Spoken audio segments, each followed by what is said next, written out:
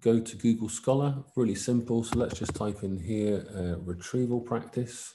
You'll notice we have 3 million results. So I want to look at the latest research. So I'm going to filter this to 2017.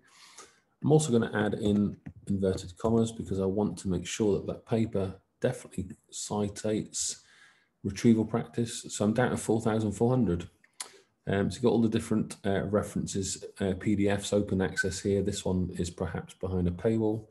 But this little fella here, uh, the quotation mark, simply click that and you get your different references. So if you want your Harvard reference in there, uh, copy and paste that into your document. Um, and then you've got your academic portals here at the bottom if that interests you also. Uh, so I hope that helps.